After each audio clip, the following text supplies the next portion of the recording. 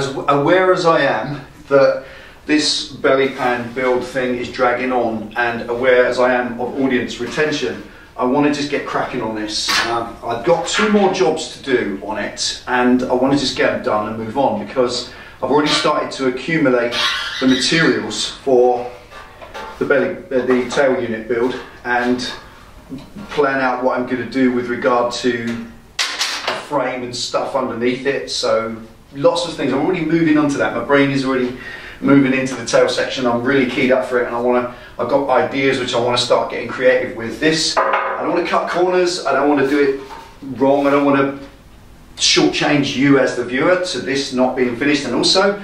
Most importantly all, I don't want to come back to the wretched thing. I want to call it done, and the next thing I want to do is be putting bodywork and paint on it, and that's when I do that to all of it, including the tail. So today all I'm going to do is I've got some gussets to weld in. I'm not going to make this a long-winded video like the usual half an hour things. I just want this to be quite quick to show you the next stage because as again, it is dragging on, it's getting a little bit boring. How many more things can you do to one belly pan? How much more, how many more hours of your life can you waste on a wretched belly pan? So I just want to put some gussets in it today for strength and uh, if I get time, I may just put some of the lip wire beading around the outside, which is the other job of the two. And when those two jobs are done, it's done, it's on the bike, it's a coat of silver just to protect it from rust because it's now coming into winter and it will be humid in the garage and it will start getting rusty if it's just left. Like these on the bike, they've been left in paint for that reason. So coat of paint once those two jobs are done. And today is the first one of those two. If I get time, I'll do the other one. I'm not sure. It's nine o'clock now. I've only got till 12 because I'm working this afternoon. Uh, day jobs. So I'm just going to see if I get what I can get done and make as much progress as possible because like you, I want to get onto this because I'm getting impatient. So here we go. Let's get this off. I'll show you what I mean. Well, it's actually a little easier to show you in situ um, and probably easier still to show you this side. Right, so take a little look in there. Now as you can see there's loads of room in there, loads and loads of empty space with nothing in it, which is what this whole concept of the belly pan is. It's to give a square bodywork feel to the engine because as the engine, as the bike's kind of this wide at the top, it comes down and the engine just goes narrow, narrow, narrow. It's kind of weedy underneath, so it gives a visual squareness to the bike. So anyway, down inside here, I've got all this lovely room. You get, look at that, and get an arm in there and move it around. There's so much space in there, so I want to put a gusset across the inside. And to measure how much room I've got to put this, this gusset in. Uh, you know what I mean by gusset, like a strength piece across there to stop it flexing, to stop this movement. Although once it's bolted in, as you can see, there ain't much movement. I just want it there because it's just better to have it than not. Um, so the idea is to mark where I've got space. Um, so just a little pencil, pretty straightforward. Uh, come here, that there is the side of the sump. So if I come to about Let's get back in there with a pencil. Right. Works as a drain. Look, pencil drains out. So if I come there, that's up against the side of the sump. There. So if I take a line down, like that, and mark that on the belly pan, probably can't see it, but there's a line there now. Oops, where are we? There's a pencil line there now on the belly pan that represents sort of like the up and right of the sump. So if I come that way, crikey, I can come up as much as I want. Forget that little rubber hose, that won't be in the way. I come up to there, which is the water pump, run up to here, and then I'm interfering with these vents. I'm actually out the vent, so you know, just mark up as high as you like. mark a line there, and then go forward a bit. Right, so that's given me, just getting some baseline readings really, as they say. There you go. I do the same the other side while it's in situ, bolted up still. And it's related to the engine as where it's going to be. This one's a bit harder to get in. Still get a hand in there.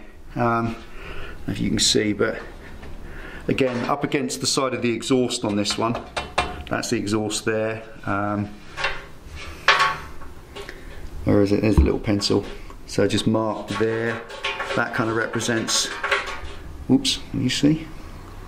There we go. That represents where the exhaust will sit. And I want to come up this side again to about where the vent is. Right, now I've kind of, let's come out a little bit.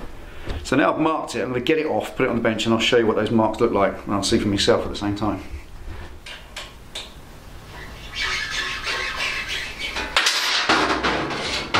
Right.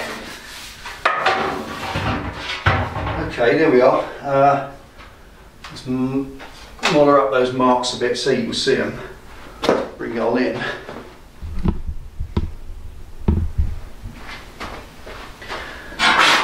Right, so those pencil marks are kind of there and there and definitely there and about there. So what they represent is a square. If you take um,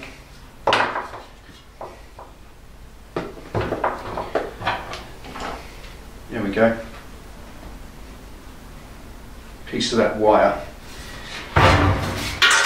Let's show you. So what those square marks represent there to there is the ability to do practically that with a gusset um, and, and that won't foul on anything. And the same goes for that side. Sort of, this is a bit big but you know like a square I could weld a, piece of sheet metal in there. That shape.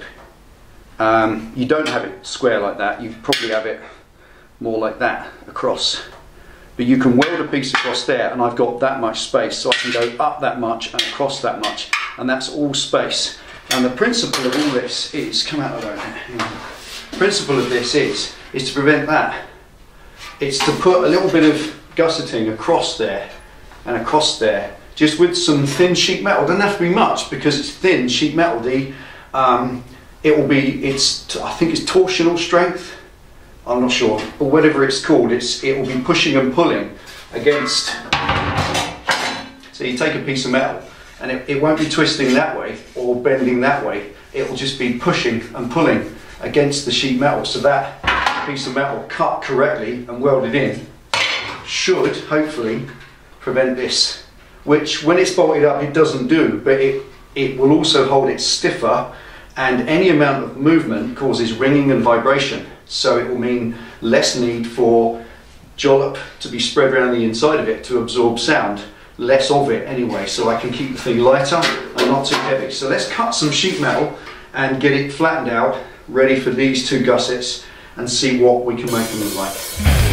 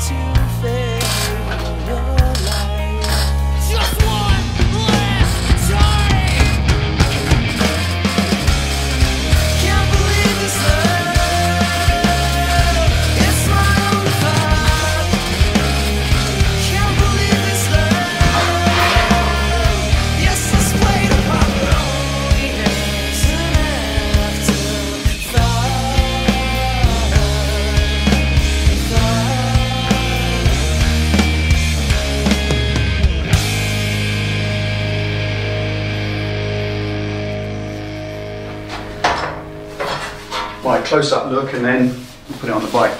Uh, what I've done, right, okay, going to answer this one first. Loads and loads and loads and loads and loads and loads and loads and loads and loads and loads and loads and loads of you said that these covers need some sort of adjustment, some sort of doing again, doing differently, doing more to. And yes, you're right, I totally agree. I've, I've gone through my head in the last week with shed loads of ideas, welding the back edge in so it's completely one piece. But what that's going to do is fill up with leaves and mice and rats and stuff, so that ain't going to work. Uh, it's got to be removable for cleaning purposes, if nothing else. Uh, so what I've done there, just quickly, is just taken off uh, all the all the spacer nuts at the back. So snap the back right in against the job like that, and then the front further out. You know, so basically staggering them that way. But honestly, they're not finished. I've got to do something with that. I'll come up with something. You know, I even toyed with taking the covers off and binning them and thinking of some way of making because you know I keep looking at those holes and they kind of got a I don't know jet fighter plane look about them, dum de dum. But you know, uh, whatever. I'll get there. I'll come up with the right solution. But at the moment, that's cool. I think when they're bodywork, they'll look great. And no, I do them in a contrasting colour. They're going to be matched and they're going to be visible. That's the whole idea of them. If I wanted to make a statement of them, I'd have done something else. But I yet, I yet may do something else. Anyway, there's the braces for today. Stand on tiptoe. It's better. There's the braces for today. Um, the welds went okay on this. Oh, I'm done. the welds went okay. As you saw, a couple of them just popped through. And you just put a piece of copper on the back, just fill them up. It's not too much of a problem. And where you, where I've welded that, it's it's got a little um, just an imperfection there. And I don't want to keep grinding. There's no reason for that. A little bit of filler over that, tiny little bit of filler will just cover that. It's not a problem at all. Um, I may put some solder in it or something because I this thing quite heat-proof. Now that's stopped a lot of this flex. That's literally halved it. And when you do that flex now, you can kind of see this middle bit here, this mounting point there, is flexing up and down. And these two at the front are flexing in and out as well. So when it's off the bike, yeah, it's still flexing about. The only flex was in those bulbous corners. And those little webs now will stop that altogether. And I've drilled holes in them because I know I'll get nagged my pants off for airflow. And that's really why I've put those in there. A, to cut down on the amount of metal, there's no need for too much. And they're fine because their, their strength is rendered to the job that way on. So their strength is in their in and out movement like that. Straight on like a blade rather than twist, twist or torsional strength. So they don't have to be thin, they don't have to be thick rather, and they don't have to be particularly tough or beef. They're fine like that, and they're so heavily welded in that that forms a real nice gusset in there. And there's nothing like a nice gusset. Let's put it on the back.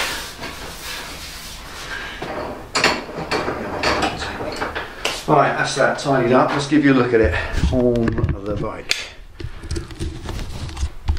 You can't really see a great deal of sort of extra stuff that's done unless you come this side.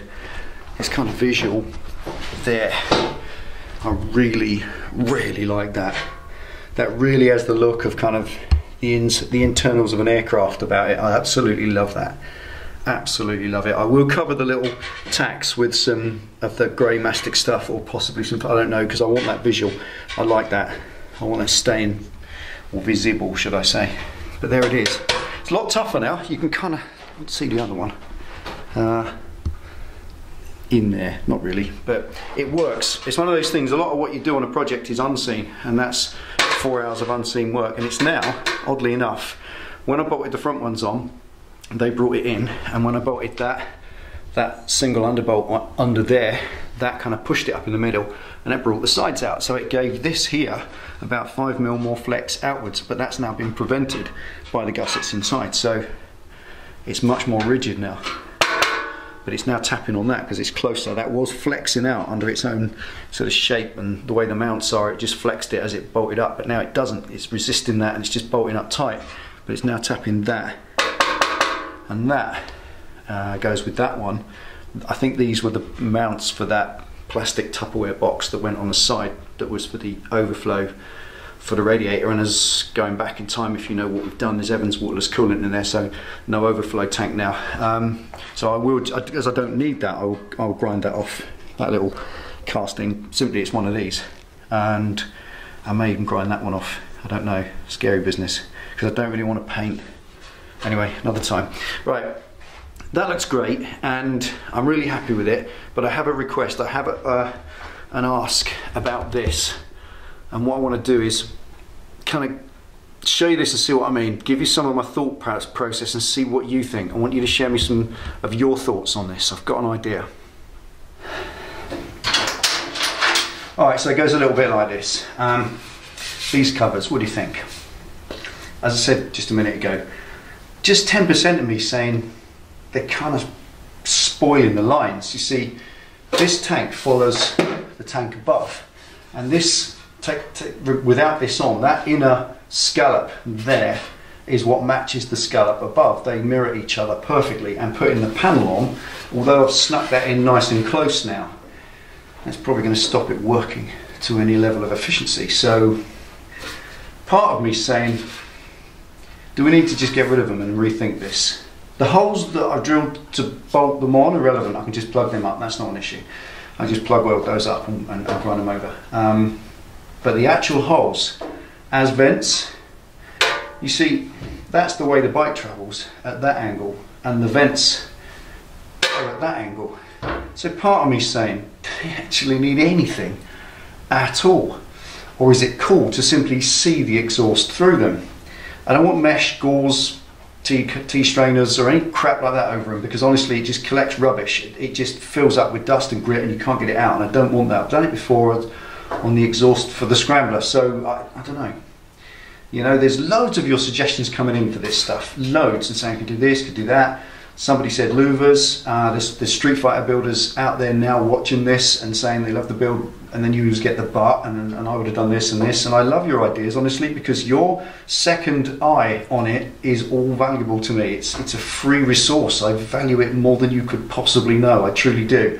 If people are being insulting, then we just have some fun with them and, and F them off. But those 99.9% of you who have constructive criticism that, yeah, mm, mm, mm, what do you think?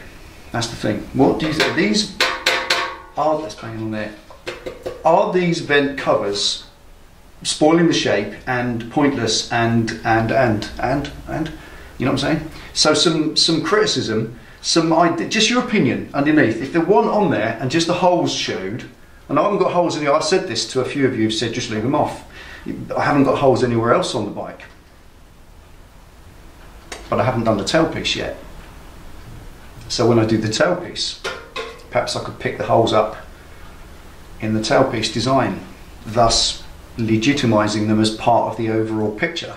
And I've still got to do a front mudguard slash fender, and that could pick up some holes as well. So the whole thing, the whole bike could take on that theme of sort of superleggera, you know, with the holes drilled for the lightness. Certainly, where you see those gussets, that that's that's what's inspired me to this. Those gussets showing, especially on that left-hand side, when you see that, you see those holes in there. There's that internals of an aircraft kind of look, you know, like the inside the aircraft wing with all the holes drilled for strength uh, and, and, and lightness. And I think I don't know, I know. So, right, so just give us an opinion. What do you think?